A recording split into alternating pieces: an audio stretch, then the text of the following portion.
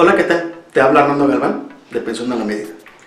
Estaba viendo algunas estadísticas recientemente publicadas que mencionan que la modalidad de 40, la famosa modalidad de 40, en todo el país, en los últimos tres años, no rebasa 100.000 personas que la hayan contratado.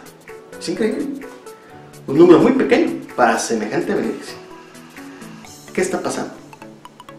¿Por qué no hemos concretado?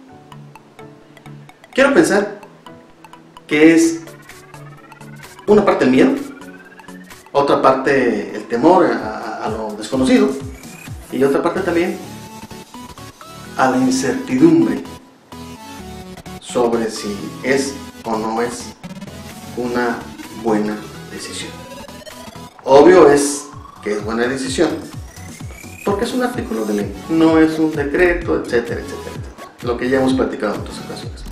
Pues bien, eh, de julio para acá, desde que empezamos con el Facebook de Pensión a la Medida, ya somos 500 personas, casi 500 personas, quiero decir. Casi 500 personas que estamos interesados en lograr un bienestar financiero a nuestra tercera edad, que sea suficiente para cubrir todas nuestras necesidades. 500 personas casi. Pues bien, y seguimos creciendo. Ahora bien, yo tengo dos propósitos para el 2018. Primer propósito, que los que ya de una u otra manera hemos establecido contacto, tenemos ya alguna relación, tenemos ya una charla, tenemos ya un, camino andado, que iniciemos ya el proceso de la modalidad 40, que ya demos ese primer paso. El tiempo ya no está a nuestro favor. Ya estamos de 55, de 58, de 59, gente de 60 años, gente de 62 años inclusive. Ya no nos esperemos más. Ese es mi primer propósito. Intensificar la relación con todos ustedes para iniciar la modalidad 40 los más posibles. Segundo propósito en 2018.